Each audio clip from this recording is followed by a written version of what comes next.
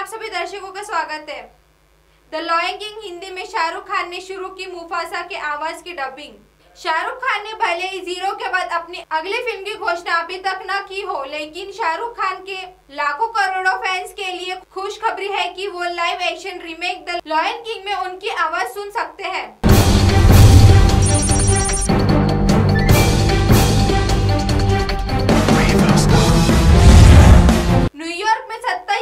जूता देखकर दंग रह गए ऋषि कपूर।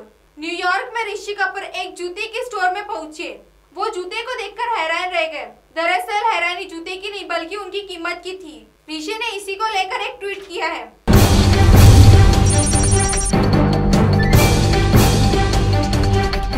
विशाल भारद्वाज की फ़िल्म से ईशान खट्टर हुए बाहर। खबर के मुताबिक ईशान के हाथ से ये प्रोजेक्ट चला गया है। विशाल के साथ मिलकर अलग होने का फैसला किया है, क्योंकि इनके बीच क्रिएटिव डिस्टेंस थे। अब विशाल इस फ़िल्म में किसी नए एक्टर को लॉन्च करने के बारे में सोच रहे हैं। M N S news live की खबरें देखने के लिए आज ही प्ले स्टोर ऐसी M N S Hindi app download कीजिए और इस चैनल को सब्सक्राइब कीजिए। धन्यवाद।